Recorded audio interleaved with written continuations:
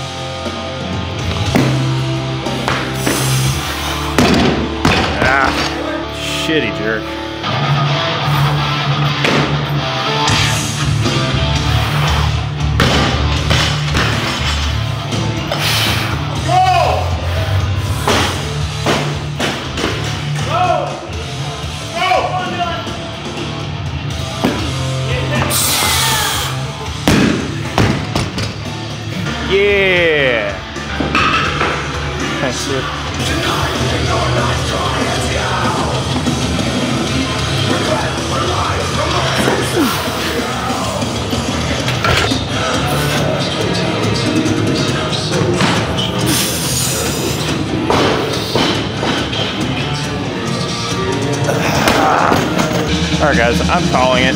I used every ounce of what I had on that clean and jerk, and cortisol dump I had after that was a lot. So we're gonna call it on these, and we're gonna recover because as an experienced weightlifter, that seems like, or I know that that is the best move. And if I were to push these, I would just add fatigue while getting absolutely nothing out of it. Call it a day and be happy with our 303. We beat our goal. Today's a win. I'll talk to you bastards in the fucking car. All right, fuck yeah, dude. We still have the momentum. We just got to keep recovering and training hard, and these sessions are to keep getting better. But today was big. I don't know if you remember two weeks ago, but I said two weeks from now, I want a total 300, and we fucking nailed that today. Only one miss on the day, if you don't count the front squat triple miss. I was cacked by the end of that, like dead. Whenever you like sell out for a lift like that, it just leaves you so dead afterwards but I'm glad we did it. It's a 303 total, so we beat the goal. I was about to go 67, but I was just like, the 160 clean was really easy.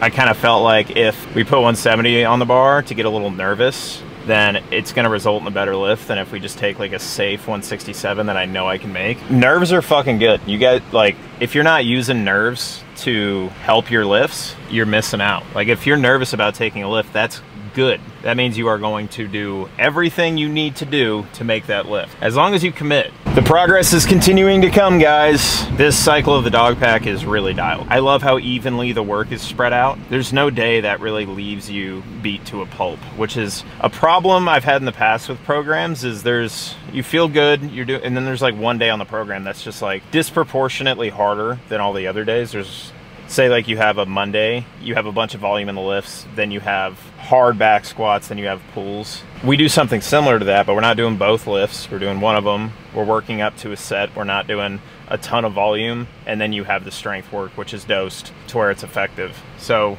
yeah, we're not overtraining at all.